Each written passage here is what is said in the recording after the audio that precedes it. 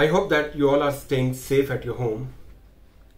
I remember when I was in my school in the college, I used to think about aging, that aging is the wrinkling of the skin, the graying of the hair, weakness of the muscles, and lot of disease. But now, with the experience of 20 25 years of the medical field, I came to know that it depends on some factors.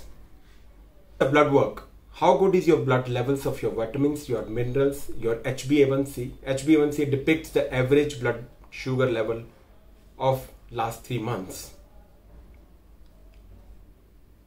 Then the cognitive function of the brain.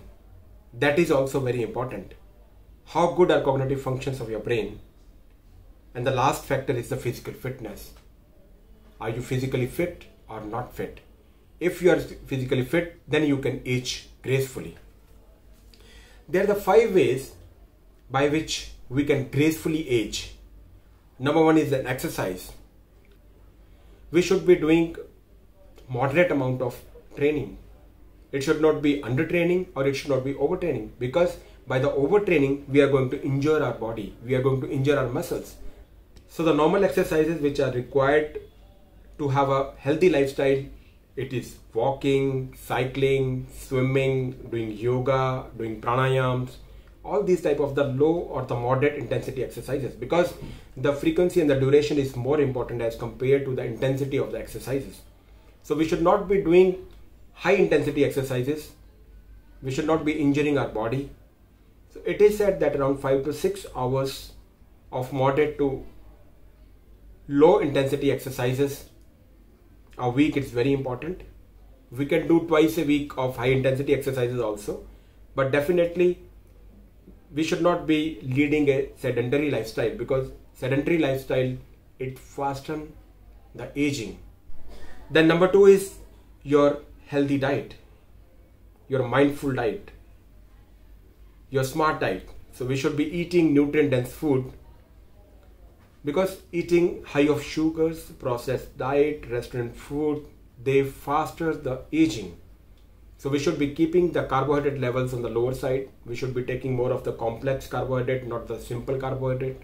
We should be eating the good proteins having all essential amino acids. We should be eating the good fat not the bad fat. So if we can balance our diet by eating vegetables and the fruits because vegetable the fruits they're not only having vitamins minerals carbohydrate but they also have antioxidants. And antioxidants they decrease the level of the free radicals and the free radicals they causes of aging. So we should be balancing our diet by including vegetables fresh vegetables fresh fruits seeds oils legumes whole grains. All these things has to be there in the balanced diet. If we are taking alcohol or that we are doing smoking we should be avoiding all these two things because these two things they also faster the aging.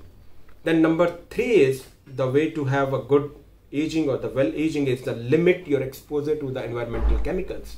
These chemicals may be the chemicals which are present in the pollution. It may be in your personal care products which we are using for the skin and it may be in the food additives.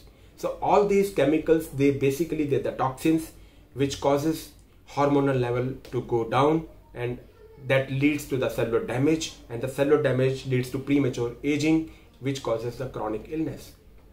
So if we can limit ourselves from the exposure to these chemicals i think we can age gracefully. Then number 4 is how we are training our brain. We should be training our brain or we should find a way to de-stress ourselves because what we do actually if we are spending more and more time on the social media basically we are training our brain. We should not be training our brain but we should be training our brain. We can train our brain by doing puzzles by doing crosswords by engaging our brain in the good activities by refreshing our memories of the older time. We should be connecting to our school friends our college friends. We should be listening to the old music. That is also very important right we should be loving our loved ones we should be connecting to our loved ones our family friends our friends so that will definitely train our brain with the good activities we should be including some sort of hobby also during our work because if we are working all of the day then definitely we are not training our brain, we are exhausting our brain. So we should not be exhausting our brain, but the training the brain. Giving back is also very good idea if we want to train our brain. Giving back means if you are mentoring someone, if you are teaching someone, if you are giving your skills to someone, because if you can give back to the society which you have taken from the society, that will help you to feel full from inside. And it is very important if you want to age gracefully, you should be full from inside as well as from the from the outside. Then number fifth factor is miscellaneous.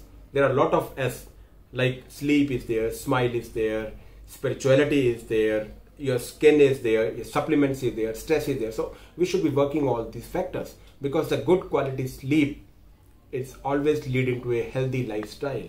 And when we are leading a healthy lifestyle, then we can age gracefully. We should need a good quality.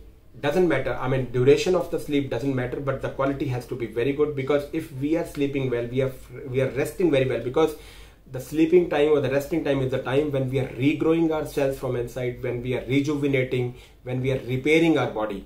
So if we can repair our body nicely, then only we can be active during the daytime. So sleep is also very good and important factor. We should be changing our focus from negativity to the positivity. We should be changing our energy. We should learn to be very grateful, to be, to have a gratitude. We should learn to practice a let go. We should visualize ourselves. Lowering your stress definitely it has a countless anti-aging benefits that if we have less stress then we are going to decrease our blood pressure we are going to increase our cardiac health we are going to decrease our obesity and that leads to uh, healthy lifestyles then skincare is also very important because the skin is an elastic organ it's, it's the biggest organ of our body if we are doing regular exercises if we are taking good massages by use of the coconut oil if we are taking care of the skin definitely we can make our skin more elastic and more tight as compared to using some uh, artificial products which may be unhealthy for our skin. Then supplements. If the level of your vitamins are low then we can include the supplements. We, we can include the vitamin b1 b6 b12 vitamin e vitamin c vitamin d folic acid. All these things they are essential also. Plus they do have some antioxidant effect. And antioxidant effect will decrease the level of the free radical. Then spirituality. Basically the spirituality may be helping someone. The spirituality may, may be your kindness maybe your compassion. The spirituality is not a religion but it is a living healthy lifestyle that is consciously cautiously and mindfully. So if some sort of spirituality if we are practicing. Spirituality may be reciting of the gurbani it may be yoga it may be meditation any sort of things which calms yourself from inside that is spirituality. So we can say age is not just a number but it is a measurement of how well you are preserving your health. So key to a good life is not just living for the longer period but living a good life means remaining healthy strong and vibrant for as long as possible. So keep healthy, stay safe, be active and keep moving. Thank you so much.